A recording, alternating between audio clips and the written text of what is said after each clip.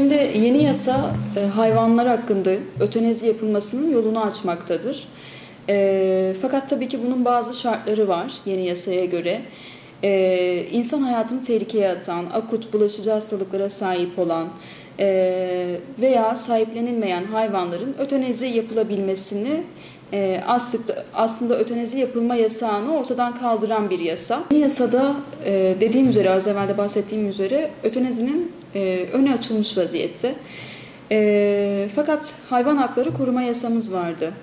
E, ve bu e, yasaya göre aslında hayvanların e, ötenezi yapılmadan kısırlaştırıp aşıla, e, aşılama yapılarak e, sokak güvenliğinin sağlanabileceği yönündeydi. Aslında hayvan hakları koruyucularının e, dikte ettikleri ve aslında savundukları, uygulanması, uygulanmasını istedikleri şey e, kısırlaştır, aşıla ve sokağa bırak yöntemidir. E, ve aslında haklı olarak da şunu söylemekteler. E, bu yöntem uygulanmadan, mevcut yasadaki maddeler yerine getirilmeden neden bir e, yeni yasaya gidiyoruz ve neden bu kadar e, ciddi neticeler doğuracak bir ötenezi e, işlemini onaylıyoruz?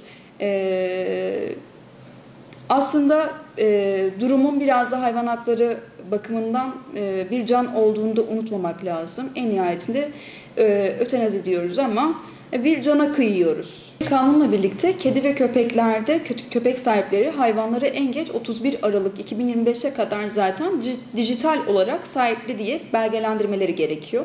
Bunlar sisteme işlenecek. Daha sonrasında da belediyelere yine süre verildi. O da 31 Aralık 2028'e kadar barınaklar yerine rehabilitasyon merkezleri kurulacak ve bu şekilde hayvanlar aslında takip alınacak ve yine re rehabilitasyon e, merkezlerindeki veteriner hekimler tarafından ötenezi yapılacak. E, ilgili bu maddelerdeki e, uygulamalar yerine getirilmediği takdirde de sizin de bahsettiğiniz üzere belediyelere bazı miktarlarda cezalar kesilecek.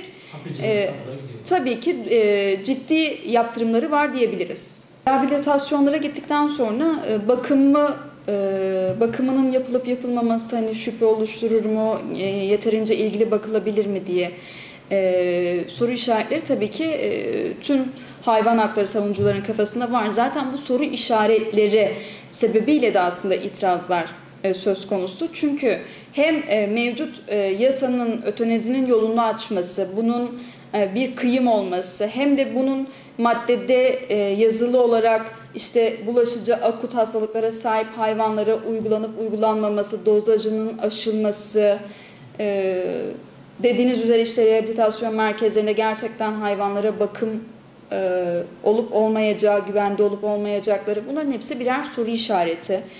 E, ilerleyen süreçlerde daha net göreceğiz. Hayvan hakları savunucuların da dediği gibi aslında e, kanunca uygulanması gereken şey evet hayvanları e, tehlike oluşturan hayvanları kısırlaştırıp aşılayıp o şekilde güvenli bir şekilde sokağa bırakmak, güvenli sokaklar elde edebilmek. Ötenaziye tamamen karşıyım.